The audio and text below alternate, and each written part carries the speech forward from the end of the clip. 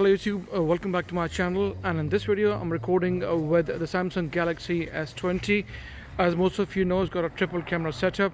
It's got a 12 megapixel main sensor with an f1.8 aperture.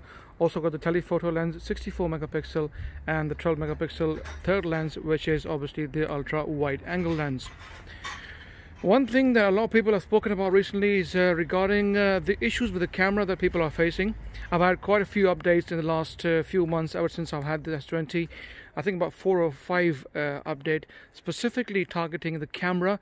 Uh, I've had some issues with focusing where the dual pixel tech used uh, in this phone has also given me some trouble with focusing. So let's have a quick look and see after this four or five updates what is the story so far. I'm by the way recording with the 1080p 60 frames per second so it'll be a good test for the phone to see how the optical image stabilization works along with uh, EIS and so much other tech that the phone has. Hopefully that will work out uh, for it. So first and foremost you can see I'm walking along at a fair bit pace so let's move a, a bit more faster. There we go. And we'll see if the footage comes out as stable. I haven't got the steady mode on. It's on normal regular mode so now let's have a look at the thumb test the focusing issues and see if that's been fixed. It was quite a few times that the phone gave me a lot of trouble and I was unable to focus and the focusing was jumping in and out. So let's have a look. Let's bring the thumb in. You can tell straight away guys still it's a bit hit and miss. Okay now it's picked up. Once it picks up there you go. Taking again time so this is after about four or five OTA updates and still the camera is having focusing issue.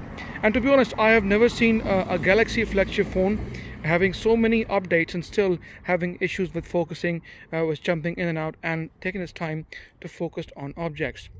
So my thumb test is uh, I would say kind of a pass and a fail as well. So I would say about 80 to 85 percent and it still needs work. It's definitely not as fast as it used to be on the S9 and the S10 and takes its time.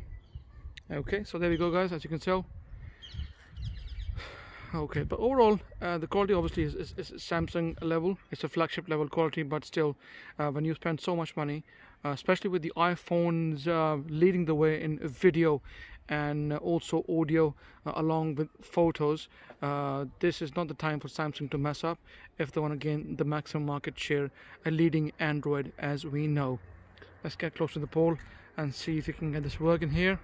The tree and the pole and the tree and the pole not too bad obviously it's got more surface area here but that's why it's not having issues. But you can tell it's definitely not as quick as it used to be on the flagship phones from yesteryears S10 S9 and so even the S8 has a quicker faster focus than the S20 so guys that's me recording at 1080p with the Samsung Galaxy uh, S20 obviously at 60 frame per second.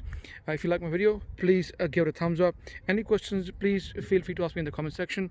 And like always please subscribe as it helps. And I shall see you in the next video